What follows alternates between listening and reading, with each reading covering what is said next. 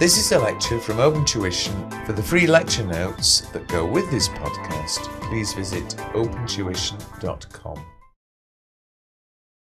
F7, Chapter 25, IAS 20, Government Grants. Government grants should be recognised only when there's reasonable assurance that any conditions, preconditions to the receipt of the grant have been met and that therefore the grant will be received. If the grant is a revenue grant or an expenses grant, then the accruals concept should apply.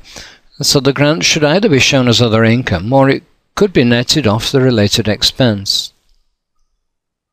If, on the other hand, it's not expense related, it's asset related, then again we can show it as deferred income or net it off against the cost of the asset.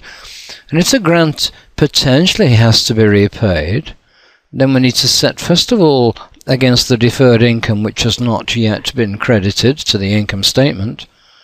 But then if the amount to be repaid is greater than the balance on the deferred income account, uh, then the excess needs to be expensed this year in the statement of income.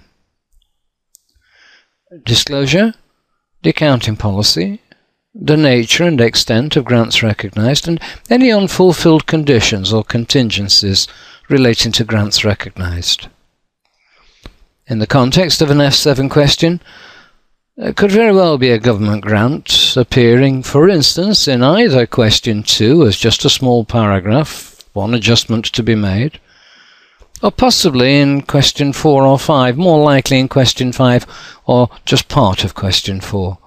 Uh, just a quick explanation of what they are and maybe a very quick calculation to show how the government grant would appear in the financial statements and the effect, therefore, on things like depreciation.